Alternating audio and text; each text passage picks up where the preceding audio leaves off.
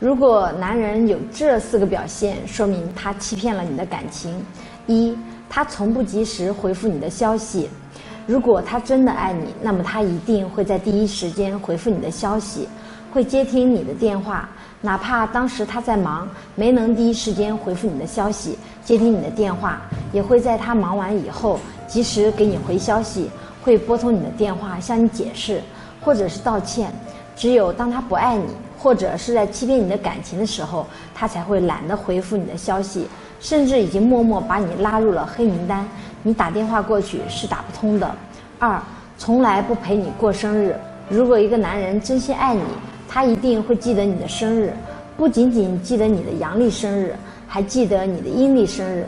他会在一年之中给你过两次生日，阴历一次，阳历一次，因为他爱你。所以他愿意陪你一起过生日。如果他欺骗你的感情，那么他自然不会把你的生日当回事，也不会把你的生日放在心上。三，从来不给你买礼物。如果你发现一个男人对你特别抠门、特别小气，那么你要与他保持距离，因为这样的男人是给不了你想要的幸福的。只有当他真正爱你，他才会想要满足你的一切愿望，他会想要给你买礼物，想要给你更多美好的东西。有时候，男人如果真心爱一个女人，他会特别留心女人真正在乎和需要的东西，他会第一时间想方设法买回来送给女人，哄女人开心。否则，说明他在玩弄你的感情，他不是真心爱你。四，他从不主动牵你的手。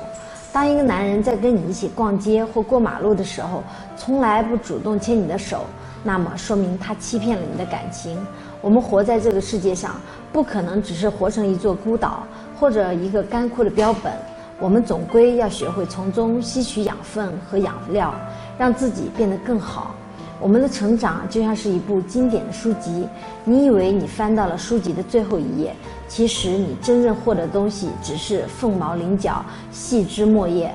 我们不可能要求每一段感情都十全十美，我们只能退而求其次，让自己变得越来越好。